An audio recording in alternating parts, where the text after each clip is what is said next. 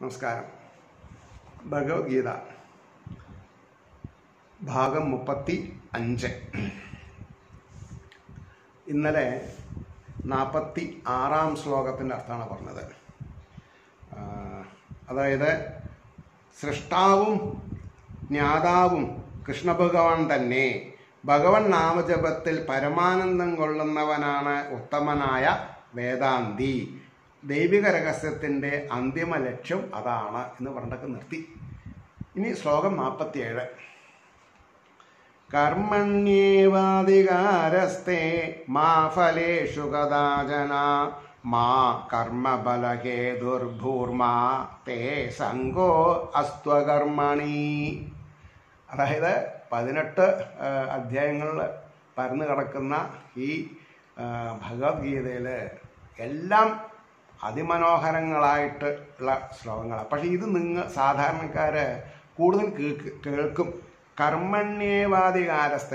അതായത് വ്യക്തികൾ കർമ്മം കൊണ്ടാണ് എല്ലാം നേടണത്. അല്ലാതെ അതിന്റെ കുറുക്ക് വഴികളില്ല. വെറും ആ, എന്താണെന്നാ പറയുക സംഭാവനകളിൽ കൂടെയോ അല്ലെങ്കിൽ പിന്നെ വഴിപാടുകളെ കൊണ്ടോ ഈശ്വരാനുഭൂതി ഉണ്ടാക്കാൻ സാധിക്കില്ല. ഒരു വ്യക്തി ഷോർട്ട് കട്ട് ഇല്ലാതെ കണ്ട് കഠോരമായ വഴികൾ താണ്ടുന്നെ വേണം. അതാണ് ഇവിടെ പറയാൻ പോണത്. അതായത് നിയതകർമ്മത്തിൽ മാത്രമാണ് നിനക്ക് അവകാശം. നിനക്ക് തിരഞ്ഞെടുക്കാനുള്ള അധികാരമില്ല. എന്താ അങ്ങനെ പറയാൻ കാരണം? അർജുന അർജുനന് നിയതകർമ്മത്തിൽ മാത്രമാണ് അധികാരം അവകാശം എന്ന് പറഞ്ഞാൽ ഇത് നിയന്ത്രിക്കുന്നത് അവരവരുടെ പാസ്റ്റ് ഡീഡ്സാണ് അതാണ് മുൻജന്മ സുഹൃത ദുരിതങ്ങളാകുന്ന കർമ്മങ്ങളുടെ ഫലം അനുഭവിക്കലാണ് പ്രസന്റ് ജന്മം. അതുകൊണ്ടാണ് നിയത കർമ്മം. അപ്പോൾ നമ്മുടെ മനസ്സ് സ്വ- സ്വരൂപിച്ച് വെച്ചു കഴിഞ്ഞു ഈ ജന്മത്തെ ഞാൻ എങ്ങനെ ജീവിക്കണം എന്നുള്ളത്. അതാണ്. അപ്പോൾ പറയണോ നിയതകർമ്മത്തിൽ മാത്രമാണ് നിനക്ക് അവകാശം. ഒരിക്കലും ഫലങ്ങളിൽ ഭവിക്കാൻ പാടില്ല മനസ്സ്. അതെന്തോ ആവട്ടെ. കാരണം ഒരു വിത്ത് കുത്തിയിടാൻ നമുക്ക് അധികാരമുണ്ട്. അത് വളരോ വളരില്ലേ എന്നൊന്നും നമുക്ക് പറയാൻ പറ്റില്ല. വളർന്നാലും അത് പുഷ്പിക്കുകയോ അത് കായ്ക്കുകയോ അതും പറയാൻ പറ്റില്ല. അതിന് ചൂട് വേണം ജലാംശം വേണം അതൊക്കെ ഈശ്വരീയമായ കാര്യങ്ങളിലാണ്. അപ്പോൾ കർമ്മം ചെയ്യുക നമ്മുടെ ലക്ഷ്യം കർമ്മബലം തരുന്നത് ഈശ്വരനല്ലോ ഏ? അതുകൊണ്ടാണ് ഒരിക്കലും ഫലം കിട്ടണമെന്നുള്ള ആശയോടെ കർമ്മം ചെയ്യുന്നവനായി നീ ഭവിക്കരുത്. ഭവിച്ചാൽ എന്താർത്ഥം എന്താ ഉണ്ടാവുക? ദുഃഖം ഉണ്ടാവും. ഇപ്പൊ എത്രയോ ഇന്റർവ്യൂകൾ കഴിഞ്ഞാൽ അത് ഏതാ കിട്ടുക എന്ന് നമുക്ക് പറയാൻ പറ്റില്ല. കിട്ടണത് നമുക്ക് നന്നാവുമെന്ന് വിചാരിക്കാം. അല്ല അത് കിട്ട ശരിയായിട്ടില്ലേ? അതിന് ദുഃഖം തോന്നിയോ? വേറെ ഉണ്ടാവും ഇതൊന്നും നമുക്ക് നിയന്ത്രിക്കാൻ പറ്റില്ല. അപ്പോൾ ഏതാണ് നല്ലത് എന്നുള്ളത് ഭഗവാൻ നിശ്ചയിക്കും. ഏതിനനുസരിച്ചിട്ട്? ഈ വ്യക്തി ചെയ്ത കർമ്മഫലത്തിനനുസരിച്ചിട്ട്. അപ്പൊ ആ വ്യക്തി ചെയ്ത കർമ്മം മോശമാണെങ്കിലും ഉണ്ടാവുന്ന കുട്ടികൾ അല്ലെങ്കിൽ വിവാഹാനന്തരം ഉണ്ടാവുന്ന ഭാര്യ അല്ലെങ്കിൽ ഭർത്താവ് അവർക്ക് ബുദ്ധിമുട്ടാൻ യോഗമില്ലെങ്കിലോ ഇവർക്ക് നന്നാവും.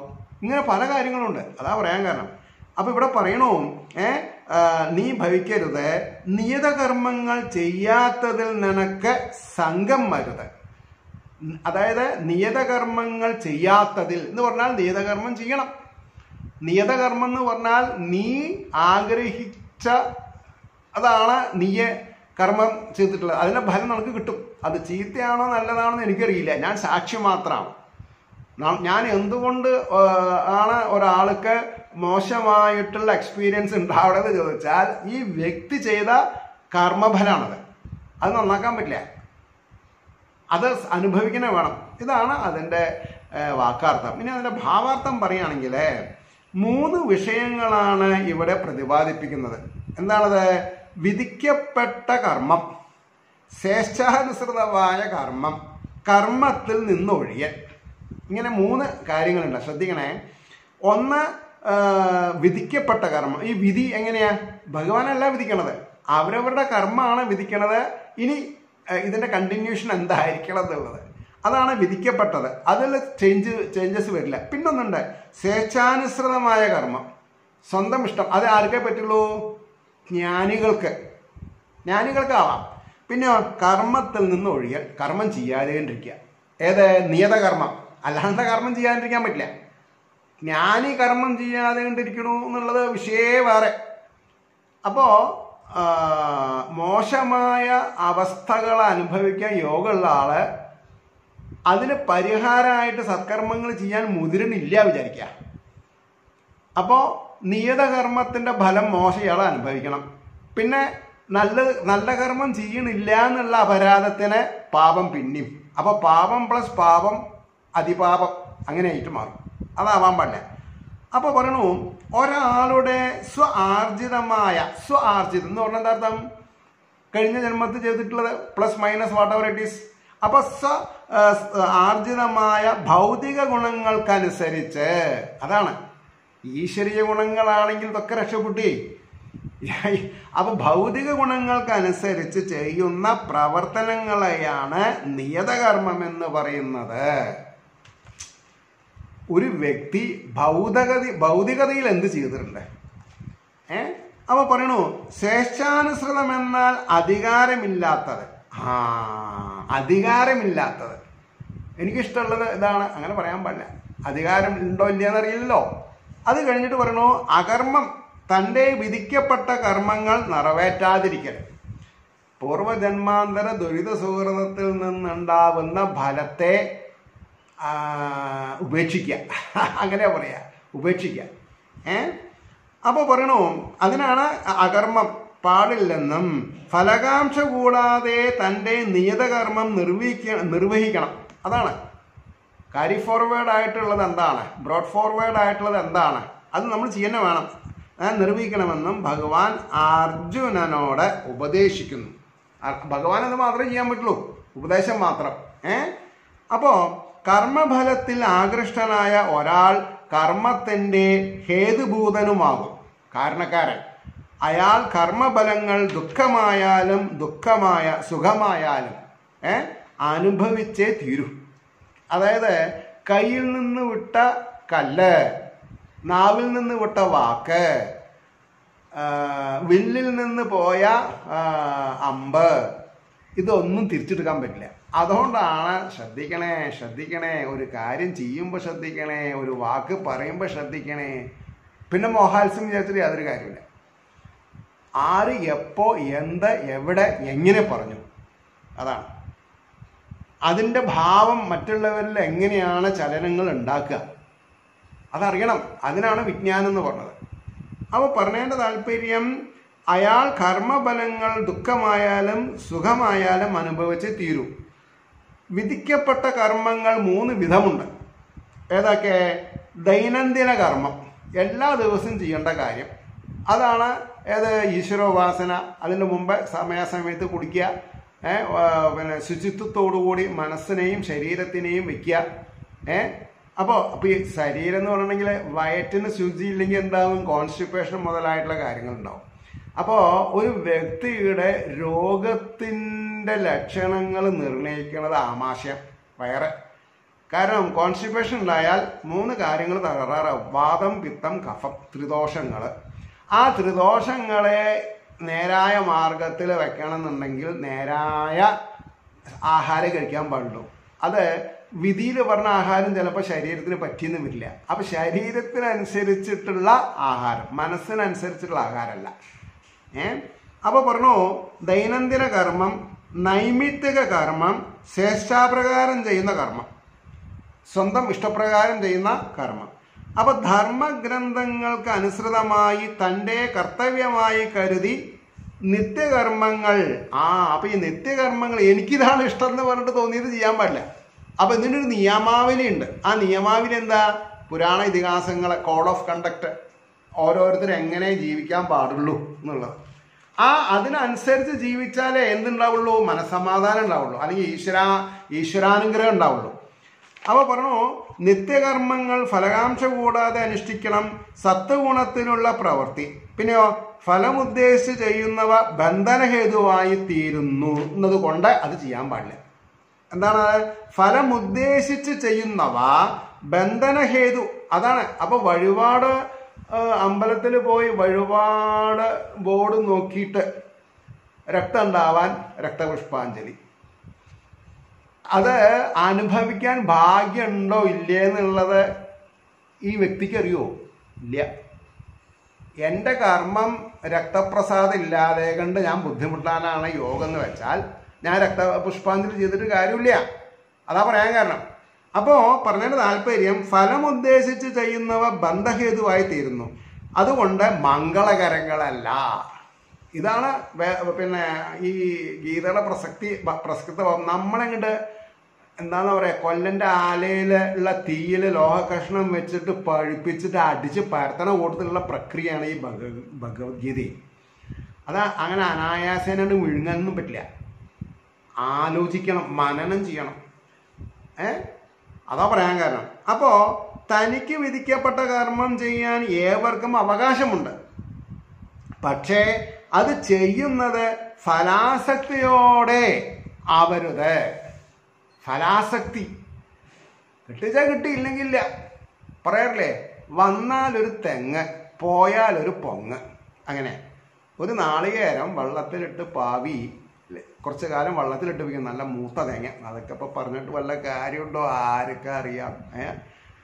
അതാണ്. അപ്പൊ ആ തെങ്ങിനെ വെള്ളത്തിലിട്ട് കുറെ കാലം വെക്കും. എന്നിട്ട് മണ്ണിൽ കുത്തി നിർത്തും. അപ്പോഴാണ് പാവ മണ്ണിൽ പാവും. അപ്പൊ അതിന്റെ മുള വരും. അത് ഒരു വർഷം രണ്ട് വർഷം ആകുമ്പോൾ വലിയ കുഴിയൊക്കെ കുഴിച്ച് ധാരാളം വളങ്ങളൊക്കെ ഇട്ട് നടും. എന്നിട്ട് അതിന് പ്രമാണമുണ്ട്. രണ്ട് തെങ്ങ് വയ്ക്കുകയാണെങ്കിൽ ഒരു തെങ്ങിന്റെ പട്ട വേറൊരു തെങ്ങിന്റെ അടുത്തുള്ള തെങ്ങിന്റെ പട്ടയിൽ മുട്ടാൻ പാടില്ല. അത്ര വ്യത്യാസം.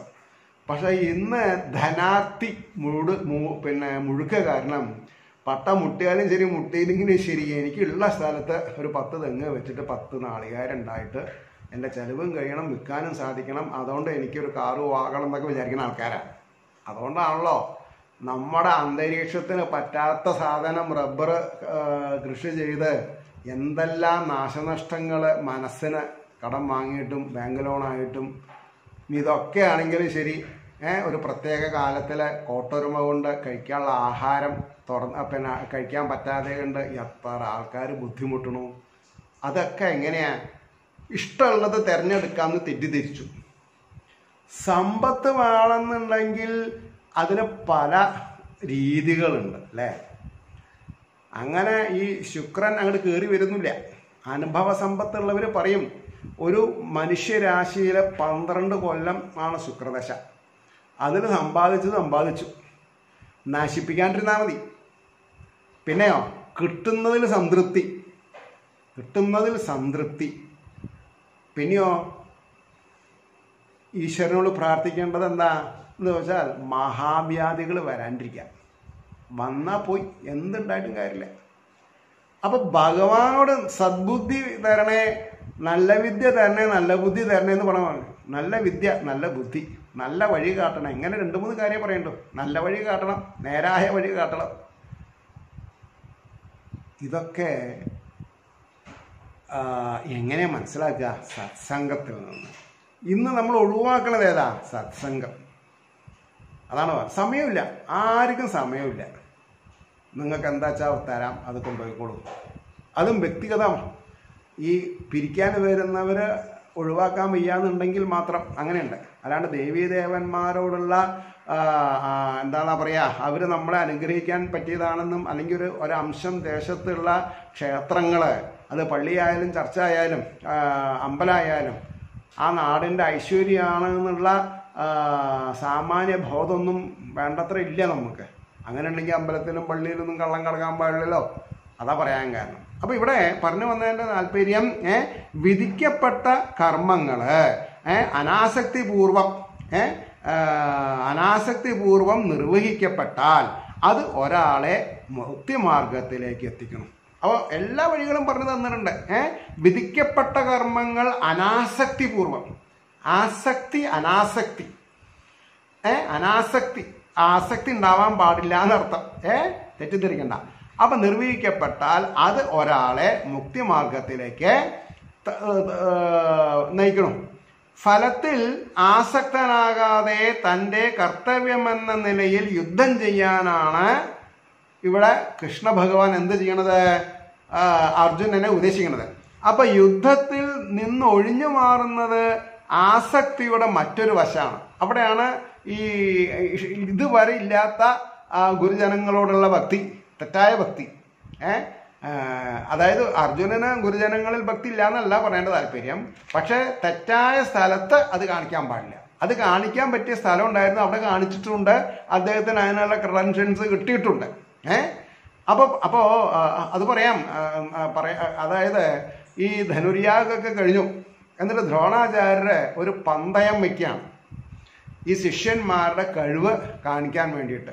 അപ്പോൾ രാജ രാജ പിന്നെ ധൃതരാഷ്ട്രം അതേമാതിരി ധൃതരാഷ്ട്രക്ക് കണ്ടു കാണില്ലെങ്കിലും ഏഹ് രംഗത്തുണ്ട്. അപ്പോൾ പറയുന്നുണ്ട് ഓരോരുത്തരെ വിളിച്ചു. അപ്പോൾ ഒരു ഒന്ന് രണ്ടോ ഉദാഹരണം പറയുമ്പോഴേക്കും നിങ്ങൾക്ക് മനസ്സിലാവും. അപ്പോൾ ഒരു മരത്തിന്റെ മുകളിൽ കറങ്ങിക്കൊണ്ടിരിക്കുന്ന ഒരു കിളീനെ ആ, സ്ഥാപിച്ചെന്നാണ് മരം വിദ്യ കൊണ്ട്. അതിനിപ്പം പ്ലാസ്റ്റിക് ആണോ മരാണെന്നും ചോദിക്കണ്ട. അപ്പൊ അതിന്റെ കഴുത്ത് അരിഞ്ഞ് താഴ്ത്തിടണം. അപ്പൊ ഒരാളെ വിളിച്ചു ഇപ്പോൾ ഇപ്പൊ പേര് നമുക്ക് പറയാം ദുര്യോധനെ വിളിച്ചു. ദുര്യോധന എന്താ കാണണേ ചോദിച്ചു. ആ ആ, എന്താ അങ്ങേക്ക് കണ്ണൊക്കെ മങ്ങിയോ?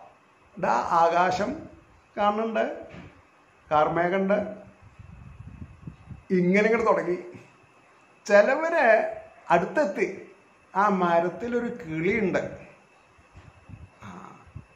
അങ്ങനെ പറഞ്ഞു പറഞ്ഞ് അർജുനൻ പറഞ്ഞു ഗുരുദേവാ ഞാൻ ആ കിളിയുടെ കഴുത്ത് മാത്രമേ കാണുള്ളൂ ബാക്കിയൊന്നും കാണുന്നില്ല. ഇപ്പം എന്താ മനസ്സിലായത്? നമ്മളൊരു സ്ഥലത്ത് പോയി. ഒരു സ്ഥലത്ത് പോയാൽ എത്രയോ ആൾക്കാരെ കാണുന്നുണ്ട്. തിരക്കി തിരക്കി പോകുന്നുണ്ട് എല്ലാവരുടെയും മുഖം നമ്മുടെ മനസ്സിൽ പതിയോ? ഇല്ല. ഒന്നില്ലെങ്കിൽ നമ്മളെ ശ്രദ്ധിച്ചവരുടെ രൂപം മനസ്സിൽ പതിഞ്ഞു എന്ന് വരും. അല്ലെങ്കിൽ നമ്മൾ ശ്രദ്ധിച്ചവരുടെ മുഖേ ഉണ്ടാവുള്ളൂ. അതാ ചോദിക്കാൻ അതാ അത് അതാ അത് പറയാനാണ് ഈ കഥ പറഞ്ഞത്. അപ്പോൾ അതൊക്കെ ശ്ലാഘനീയമായിട്ട് അർജുനൻ പന്തയത്തിൽ ജയിച്ചു. അർജുനൻ മാത്രമേ ജയിച്ചുള്ളൂ. കാരണം അത്രയും കണിശമായിട്ടുള്ള ലക്ഷ്യസ്ഥാനം ആർക്കറിയാം? അർജുനൻ അറിയാം അതുകൊണ്ടാണ് പറയുന്നത് അപ്പൊ ആ, അസ്ഥാനത്തായിപ്പോയി ഗുരുഭക്തി. അതേമാതിരി പിതൃമഹാന്മാ പിന്നെ പിതൃസമാനന്മാരായിട്ടുള്ള ആൾക്കാരെ അല്ലെങ്കിൽ പിന്നെ ഭീഷ്മാചാര്യന്മാരെ പോലെ പിതാമഹനെ പോലെയുള്ള ആൾക്കാരെ ഇവരെ എന്നൊക്കെ വധിക്കേണ്ടി വരുമല്ലോ എന്നുള്ള തോന്നൽ അസ്ഥാനത്തായിപ്പോയി സമയം പറ്റിയതായിരുന്നില്ല. മനസ്സിലായില്ലേ? അതുകൊണ്ടാണ് അങ്ങനെ പറയാൻ കാരണം.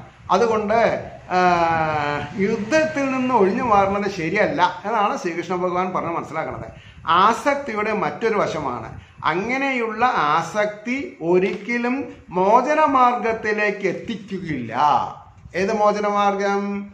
ഈ ജീവിതം ജനിക്കുക മരിക്കുക എന്നുള്ള ഇതിൽ നിന്ന് മുക്ഷത്വത്തിലേക്ക് എത്തിക്കില്ല. രണ്ടു വിധത്തിലായാലും ആസക്തി ബന്ധനഹേതുവാണ്. ഇനി അങ്ങനെയുണ്ട്. എന്താ എന്ന് പറയാൻ കാരണം? അകർമ്മം പാപവും ഏ? അതുകൊണ്ട് തന്റെ കർമ്മ എന്ന നിലയിൽ യുദ്ധം ചെയ്യുക മാത്രമേ അർജുനന് മംഗളകരമായി മുക്തിയെ കൊടുക്കുകയുള്ളൂ. ഇതാണ് ആ, ശ്ലോകത്തിന്റെ ഭാവാർത്ഥം. അപ്പോൾ ഇങ്ങനെ ഒരു ശ്ലോകം ഭഗവത്ഗീതയിൽ ഏതെങ്കിലും ഒരു ശ്ലോകം വേണ്ട പോലെ മനസ്സിരുത്തി പഠിച്ചാൽ മതി. ബാക്കി ഇതൊക്കെ ഇത് ഒക്കെ മറ്റേതിലും അപ്ലിക്കബിൾ ആണ്. മനസ്സിലായില്ലേ? അതുകൊണ്ടാണ് അത് കഴിഞ്ഞു. ഇനി നാൽപ്പത്തി എട്ടാമത്തെ ശ്ലോകം പറയണു. യോഗസ്ഥ കുരുകർമാണി സംഘം സിദ്ധ്യ സിദ്ധ്യോ സമോ ഭൂത്വാ സമത്വം യോഗ ഉച്ചതേ. എന്താണ് സമത്വം? എന്നാണ് ഈ ശ്ലോകത്തിൽ പറഞ്ഞത്. പറയണു അതിന്റെ വാക്കർത്ഥം നോക്കുക. ഹേ അർജുന സന്തുലിതാവസ്ഥയിൽ സന്തുലിതാവസ്ഥ. ഈ സന്തുലിതാവസ്ഥ എന്ന് പറഞ്ഞാൽ ഒരു ത്രാസ് ഉണ്ട് വിചാരിക്കാം ആ ത്രാസ് അങ്ങോട്ടും ഇങ്ങോട്ടും എന്താ പറയുക താഴ്ന്നിട്ടും പൊന്നിട്ടും നിൽക്കാൻ പാടില്ല. അതിങ്ങനെ പിടിച്ചിട്ടുണ്ടെങ്കിൽ രണ്ടും ഒപ്പം നിൽക്കണം സന്തുലിതാവസ്ഥ ഒരേപോലെ. അങ്ങനെ. അപ്പോൾ ആ സന്തുലിതാവസ്ഥയിലെ ആസക്തി ത്യജിച്ചിട്ട് ഒന്നിനോടും ഒരു ആസക്തി ഇല്ലാതെ കണ്ട് എന്ത് നേടിയാലും ഇല്ലെങ്കിലും കർമ്മത്തിന്റെ ഫലം ഉണ്ടാവും അത് ഉണ്ടായി അല്ലെങ്കിൽ ഉണ്ടായില്ല എന്നാലും ആസക്തി ത്യജിക്കണം. അതെങ്ങനെ? സമഭാവത്തോടെ. ഏ? എന്നിട്ടോ? സമഭാവത്തോടെ ഭജിച്ച് ഭവിച്ചിട്ട് ചെയ്തിട്ട് കർമ്മങ്ങളെ ചെയ്യുക. ഗോൺ ഡൂയിങ് യുവർ കർമാസ് അത് നിർത്താനും പാടില്ല. കാരണം കുറച്ച് റെസ്റ്റ് എടുത്ത് വിചാരിക്കുക. ഒരു ഫലം ഉണ്ടെന്നുള്ളത് ഉറപ്പാ ഏതൊരു കർമ്മത്തിനും ഇപ്പം നാമം ചില്ല. അതിപ്പോൾ അഞ്ച് മിനിറ്റ് ആണോ അഞ്ച് സെക്കൻഡ് ആണോ എന്നുള്ളത് എനിക്കറിയില്ല. അപ്പോൾ അതിനിടയ്ക്ക് വേറെ എന്തെങ്കിലും വിചാരിക്കുക. ഞാൻ ഇന്ന് പത്ത് മിനിറ്റ് നാമം ചെല്ലും. അപ്പോൾ രണ്ട് മിനിറ്റ് നാമം ചെല്ലിയിട്ട് വേറെ ഒരു എട്ട് ഒരു ഏഴ് മിനിറ്റ് വേറെ എന്തെങ്കിലും ചെയ്തിട്ട് അപ്പോൾ ഏഴ് രണ്ട് ഒമ്പത് മിനിറ്റ് ആയി പിന്നെ അവസാനത്തെ ഒരു മിനിറ്റിൽ നാമം ചെല്ലിയിട്ട് അതൊന്നും കാര്യം നടത്തില്ല. അവിടെയാണ്. കോൺസെൻട്രേഷൻ ഏകാഗ്രത ഏകാഗ്രത. ഏ? അതാ പറയാൻ കാരണം. ആ ഏകാഗ്രതയിൽ ഉണ്ടാവണ കാര്യം നടക്കുള്ളൂ. അതുകൊണ്ടാണ് പറഞ്ഞത് അപ്പൊ കർമാണി കർമ്മങ്ങളെ സമത്വം സന്തുലിനാവസ്ഥ അതായത് സന്തുലിനാവസ്ഥ ആ യോഗമെന്ന് പറയപ്പെടുന്നു. അതായത് എന്ത് കർമ്മം ചെയ്താലും ഗുണാണെങ്കിലും ദോഷമാണെങ്കിലും മനസ്സ് പതറാതെ കണ്ടിരുന്നാൽ അതിനെയാണ് എന്ത് പറഞ്ഞത്? സമത്വം യോഗ ഉച്ചതേ സമഭാവന ഉള്ളവൻ എന്ന് പറയാം. ഏ? അപ്പോൾ അതിന്റെ പിന്നെ എന്താണ് പറയുക വാക്കാർത്ഥം പറ അല്ല ഭാവാർത്ഥം പറയുകയാണെങ്കിൽ പറയണോ? യോഗസ്ഥനായി പ്രവർത്തിക്കണമെന്ന് കൃഷ്ണൻ അർജുനോട് പറയണു. യോഗസ്ഥൻ എന്നാ ആ അവസ്ഥയ്ക്ക് പറയണത്. അപ്പൊ എന്താണ് ഈ യോഗം? സദാ ആസ്വ അസ്വസ്ഥങ്ങളായിരിക്കുന്ന ഇന്ദ്രിയങ്ങളെ നിയന്ത്രിക്കുക വഴി. ഈ ഇന്ദ്രിയങ്ങൾ കർമ്മേന്ദ്രിയങ്ങൾ ജ്ഞാനേന്ദ്രിയങ്ങൾ സ്വതവേ ഇവർ അസ്വസ്ഥങ്ങളാണ് നല്ല പാട്ട് കേൾക്കണമെന്ന് ചെവി പറയും. തർക്കടില്ലാത്ത കാഴ്ച കാണുമെന്ന് കണ്ണും പറയും. നല്ലൊരു മന്ദമാരുതൻ വീശിയ തർക്കടില്ല എന്ന് തൊക്ക് പറയും. നല്ല വാസനകൾ അനുഭവിക്കണമെന്ന് നാസാരന്ധ്രങ്ങൾ മൂക്ക് പറയും. രുചികരമായ ആഹാരങ്ങൾ കഴിക്കണം എന്ന് നാവ് പറയും. പിന്നെ വേറെ രണ്ടാൾക്കാരുണ്ട് അത് അവിടെ ഇരിക്കട്ടെ അതൊക്കെ പോയാൽ പിന്നെ അപകടമായി അപ്പം ചുരുക്കി പറഞ്ഞാൽ ഇത് മാത്രം നമ്മൾ ശ്രദ്ധിച്ചിരുന്നാൽ സംഗതി ബുദ്ധിമുട്ടി. അപ്പോൾ ഇവ ഇവരതിനൊക്കെ നിയന്ത്രിക്കണം. നിയന്ത്രിച്ചില്ലെങ്കിൽ എന്ത് പറ്റും? പട്ടം പറത്ത് പട്ട- പറ- പറത്തുമ്പോൾ പട്ടത്തിന്റെ ഗതിവിഗതികളിൽ താല്പര്യത്തോടു കൂടി ടെറസിന്റെ മുകളിൽ നിന്ന് താഴെ വീഴും. പാരപ്പറ്റവാൾ ഉണ്ടാവില്ല ഇല്ല എന്നുള്ളത് ബോധത്തിൽ വരില്ല. അതാണ് ഈ ആസക്തി. കഴിക്കുക അവിടെ ഒരു കഴിക്കണതിന്റെ ഒരു അർത്ഥം പറയാണ്ടിരിക്കാൻ പറ്റില്ല. കഴിക്കണവന് ബോധമില്ലെങ്കിലും വളമ്പണവന് ബോധം ബോധം ഉണ്ടാവണമെന്ന് പറയും. ഒരു കുട്ടിയാണെങ്കിൽ ആ കുട്ടിക്ക് ആഹാരം എത്ര വേണം എന്നുള്ളത് വളമ്പണ ആൾക്ക് മനസ്സിലാവണം. അതാണ് ഇന്നത്തെ കാലത്ത് ചില സ്ഥലത്ത് കുട്ടികൾ എന്തെങ്കിലുമൊക്കെ വളർത്തും. ഉപ്പിലിട്ടതാ കൊടുത്തിട്ടുണ്ടാവുക. പക്ഷെ അത് ഉപ്പേരി വളമ്പണം കൂടുതലായാൽ പറ്റുമോ? ഇല്ല. എന്നാലും ഉപ്പേരി ഉപ്പിലിട്ട് വളമ്പണം മാതിരി ആയാൽ പറ്റുമോ? പറ്റില്ല. അപ്പം ഇങ്ങനെ ജനസമൂഹത്തിൽ എന്തെല്ലാം ഉദാഹരണങ്ങളുണ്ടോ? ഇതൊക്കെ അനുഭവ സമ്പത്താണ്. ആ അനുഭവ സമ്പത്താണ് ഒരു വ്യക്തിനെ അനുഭവസ്ഥൻ നല്ല അനുഭവസ്ഥനാകാം ആ അനുഭവസ്ഥന് കാര്യങ്ങൾ വേഗം മനസ്സിലാക്കാൻ സാധിക്കും. അതുകൊണ്ടാണ് പറയാൻ കാരണം. അപ്പൊ ഇവിടെ മനസ്സിനെ പരമോന്നത നിലയിൽ ഏകാഗ്രീകരിക്കലാണ് യോഗം. പതറാതെ കണ്ട് ഏകാഗ്രതയിൽ. എന്ത് കേൾക്കണം? അത് മാത്രമേ കേൾക്കാൻ പാടുള്ളൂ. അതിന്റെ ഇടയിൽ എന്തെല്ലാം എന്താണ് പറയുക ശ്രദ്ധേനെ ശ്രദ്ധേനെ വഴിതിരിച്ചു വിടുന്ന ശബ്ദങ്ങൾ ഉണ്ടായാലും അതാണ് ഒരാൾ ചീത്ത വിളിച്ചാൽ യോഗ ഏകാഗ്രത ഉള്ളവൻ ചീത്ത കേൾക്കില്ല. ഇനി ഒരുത്തൻ നല്ലത് നമ്മളെ പറ്റി ഇങ്ങനെ ബോസ്റ്റ് ചെയ്യാന്ന് വിചാരിക്കുക. അത് ഉള്ളതാണോ ഇല്ലാത്തതാണോ അപ്പോഴും ശ്രദ്ധിക്കാൻ പാടില്ല. അപ്പൊ നമ്മുടെ ശ്രദ്ധ നമ്മളിലുള്ള ചൈതന്യത്തിൽ. ഞാൻ ബ്രഹ്മാണ് നിങ്ങൾ എന്ത് പറഞ്ഞാലും എനിക്ക് യാതൊരു കൂസലുമില്ല എന്നുള്ളൊരു നില വരണം. അതാ പറഞ്ഞത്. അല്ലാതെ ഉണ്ട് ആരെങ്കിലും നമ്മളെ മോശക്കാരനെന്ന് പറഞ്ഞാൽ നമുക്ക് വികാരം കൊണ്ടിട്ട് അവിടെ തുള്ളിച്ചാടിയിട്ട് വല്ല കാര്യമുണ്ടോ? അവിടെയാണ് വിഷമങ്ങൾ മുഴുവൻ ഉണ്ടാവുന്നത്. ഏ?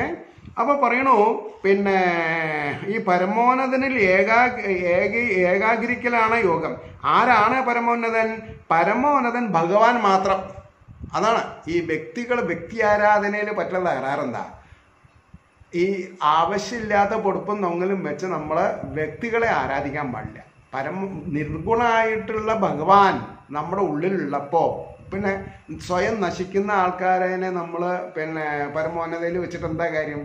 അതുകൊണ്ടാണ് ഈ ആസക്തി കുടു കൂട്ടുകെട്ടിലും പാടില്ല. അച്ഛനായാലും അമ്മയാണെങ്കിലും അവരുടെ കാലമാകുമ്പോൾ അവർ പോവാതെ ഇരിക്കില്ല അതിനെപ്പറ്റി കരഞ്ഞിട്ട് വല്ല കാര്യമുണ്ടോ?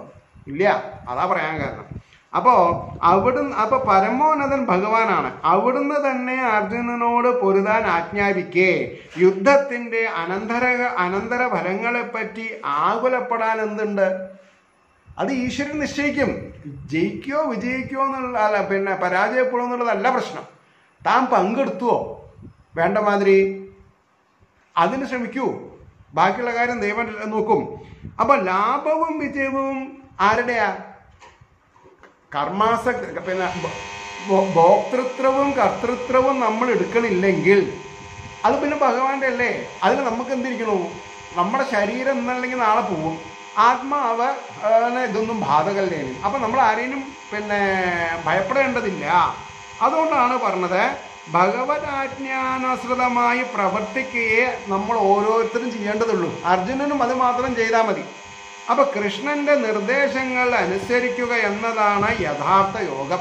അതാണ് ഭാഗവതം വായിക്കൂ ദേവി ഭാഗവതം വായിച്ചോളൂ ശിവപുരാണം വായിച്ചോളൂ അപ്പൊ നിങ്ങളുടെ ഇഷ്ടദേവൻ ശിവനാണെങ്കിൽ ശിവപുരാണത്തിൽ എന്ത് പറയണോ അത് നിങ്ങൾ കേട്ടോളൂ ഒരു കുഴപ്പമില്ല അപ്പം ഇഷ്ടദേവങ്ങളൊക്കെ ആരാണ് സത്യത്തിൽ അവനവന്റെ മനസ്സിലുള്ള ചൈതന്യം തന്നെയാണ്. അത് പരമാത്മാവാണ് ഇനി. അപ്പോൾ പറയപ്പെടുന്ന പ്രക്രിയയിൽ പരിശീലിക്കുന്നതും ഇതേ യോഗം തന്നെ. ഏ? അഭ്യാസം. പിന്നെയോ കൃഷ്ണാവ പിന്നെ ഭഗവാനോടുള്ള പ്രേമം. ഏ? മാത്രമേ ഒരാൾക്ക് അതീശത്വ ഭാവത്തിൽ നിന്ന് മുക്തനാവാൻ കഴിയൂ. അതീശത്വം എന്ന് പറഞ്ഞാൽ എന്താ അർത്ഥം?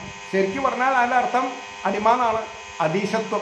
പക്ഷെ അത് വ്യക്തികൾക്കാവരുത് ഭഗവാനോടായിരിക്കണം. ഭഗവാന്റെ അടിമയാവുക ഭഗവാന്റെ ദാസനാവുക ഭഗവാന്റെ ഭക്തനാവുക. അതിനേക്കാൾ വലിയ അതിനേക്കാൾ വലിയ ഒരു പട്ടം വേറെ ഇല്ല. അതുകൊണ്ട് ഒന്നുകിൽ പിന്നെ ഭഗവാന്റെ സേവകനാവുക. അല്ലെങ്കിൽ കൃഷ്ണഭക്തന്മാരുടെ സേവകനാവുക. അതാണ് ഏത്? ഈ മാനവ സേവ മാധവ സേവ എന്ന് പറയുന്നത്. അതാണ് സ്വധർമ്മം നിറവേറ്റാനും യോഗയുക്തനായി പ്രവർത്തിക്കാനുമുള്ള ഒരേ ഒരു വഴി എന്ന് പറഞ്ഞു. അപ്പോൾ പറയണു അർജുനൻ ക്ഷത്രിയനാണ്. ആ നിലയിൽ വർണാശ്രമധർമ്മ വ്യവസ്ഥയിൽ അദ്ദേഹത്തിന് പങ്കെടുക്കേണ്ടതുണ്ട്. യുദ്ധം ചെയ്യണം. വർണാശ്രമധർമ്മത്തിന്റെ മുഖ്യ ലക്ഷ്യം വിഷ്ണുവിനെ സംതൃപ്തനാക്കുകയാണെന്ന് വിഷ്ണു പുരാണം ഊന്നി പറയുന്നു അല്ലാണ്ട് ബ്രാഹ്മണനാണെന്നുണ്ടെങ്കിൽ ദക്ഷിണ വാങ്ങുക മന്ത്രം ചെല്ലുക മന്ത്രം പഠിപ്പിക്കുക അല്ലെങ്കിൽ യാഗങ്ങൾ ചെയ്യുക യജ്ഞങ്ങൾ ചെയ്യിപ്പിക്കുക ആയിക്കോട്ടെ. പക്ഷേ അതിന്റെ അന്തിമ ലക്ഷ്യം എന്താ? വിഷ്ണുവിന്റെ പ്രീതി.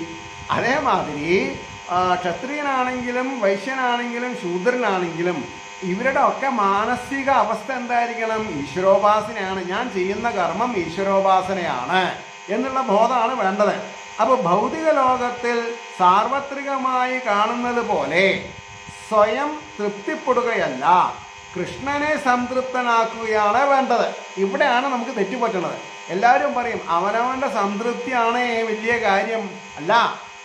തന്നിലുള്ള ചൈതന്യം അത് സാത്വിക ഗുണത്തിനും മേലെ ആണ് എന്ന് പറഞ്ഞാൽ നിരാകാരത്തിൽ നിർഗുണ ബ്രഹ്മമാണ് നിർഗുണ ബ്രഹ്മത്തിന് നമ്മളിൽ ശ്രദ്ധ വേണമെങ്കിൽ എന്ത് വേണം? നിർഗുണ ബ്രഹ്മത്തിനെ നമ്മൾ ആരാധിക്കണം. അല്ലെങ്കിൽ നിർഗുണ ബ്രഹ്മം ആരിൽ വസിക്കുന്നു? എല്ലാ ജീവജാലങ്ങളിലും വസിക്കുന്നു. അപ്പൊ എല്ലാവരെയും ഒരേപോലെ ഭേദഭാവന ഇല്ലാതെ കണ്ട് ഏകാഗ്രമായി എല്ലാം ഭഗവത് രൂപങ്ങളാണ് എന്നുള്ള അവസ്ഥയിൽ അവരെ സേവിച്ചാൽ ആർക്ക് തൃപ്തിപ്പെട്ടു? മഹാവിഷ്ണുവിനെ തൃപ്തിയായി. അതുകൊണ്ടാണ് പറഞ്ഞത് കൃഷ്ണനെ തൃപ്തിപ്പെടുത്തലാണ് ഓരോരുത്തരുടെയും കർമ്മകുശലതയുടെ നിദാനം എന്ന് പറയണം. ആ നിബന്ധനകൾക്ക് അനുസരിച്ച് ഏത് നിബന്ധനകൾക്ക്? ഭഗവാനെ പ്രീതിപ്പെടുത്താനുള്ള നിബന്ധനകൾക്ക് അനുസരിച്ച് പെരുമാറണം. അതുപോലെ ഭഗവാൻ പറഞ്ഞതുപോലെ പ്രവർത്തിക്കുവാനാണ് അർജുനനെ കൃഷ്ണൻ പരോക്ഷമായി ഉപദേശിക്കുന്നത്. അപ്പോൾ അങ്ങനെ ഉള്ള ഉപദേശങ്ങൾ നമ്മൾ എന്ത് ചെയ്യാൻ പാടില്ല? കൈവിടാൻ പാടില്ല. അതുകൊണ്ട് ഈശ്വര ഭജന ആണ് നമ്മുടെ പരമലക്ഷ്യമെന്നും അത് ഈശ്വരൻ പറഞ്ഞ മാർഗത്തെ തന്നെ ആവണമെന്നും നമുക്ക് നിർബന്ധിക്കാൻ സാധിക്കണം. ആ നിർബന്ധ ബുദ്ധിയുടെ മാധ്യമത്തിൽ കൂടി എല്ലാവർക്കും ഏ, ജീവിത സന്ധാരണം എളുപ്പമായി തീരട്ടെ. ഭഗവത്ഗീതയുടെ ഓരോ പദങ്ങളും നമ്മുടെ മനസ്സിനെ ശുദ്ധീകരിക്കട്ടെ എന്ന് സവിനയം പ്രാർത്ഥിച്ചുകൊണ്ട് വാക്കുകൾ ചുരുക്കണു നമസ്കാരം.